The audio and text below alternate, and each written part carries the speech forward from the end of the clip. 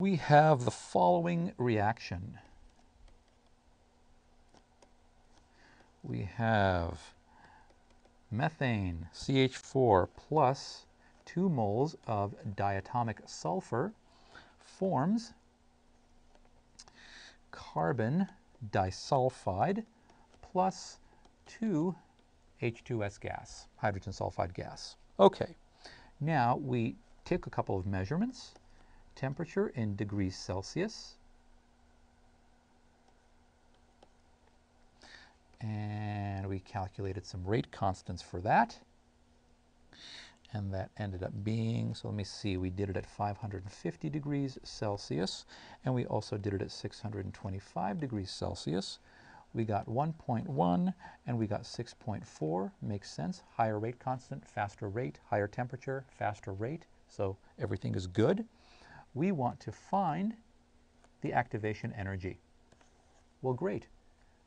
We have two constants and we have two temperatures. So let's use our equation that we just derived. And again, you don't have to know that equation.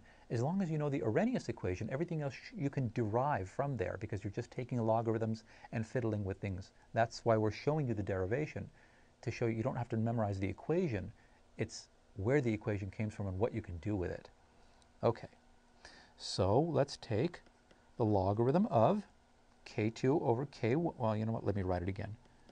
k2 over k1 is equal to minus e sub a over r 1 over T2 minus 1 over T1. And again, temperature is in Kelvin.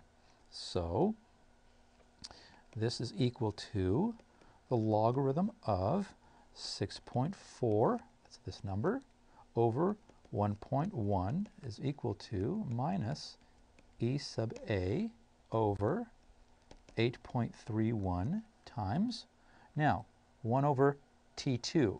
T2 is 625 degrees, that's 898 Kelvin. So it's 1 over 898 minus T1 is 550, that's 823 Kelvin. When we solve, when we this and this, we end up with the following equals 1.7609 equals minus E sub A times minus 1.22 times 10 to the negative 5 we end up with an activation energy of 144,195 joules or 144 kilojoules. Um, I'm not a I'm not a big fan of significant figures one way or the other, which is why my you know it looks like this. Numbers are probably going to be a little bit different as far as you're used to in your book, but it's the process that's important, ultimately not the significant figures. Later, if you become an analytical chemist, then significant figures will be a bigger issue. Um, but that's it.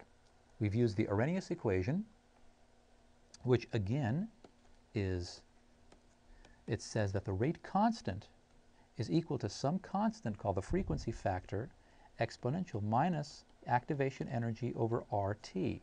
From this one equation, we can do multiple things. This expresses that the rate is dependent on temperature. This is the independent variable.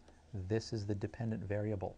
When we're taking kinetic data, we'll often have temperature and a rate constant. And we can do things to that based on how we fiddle with this equation.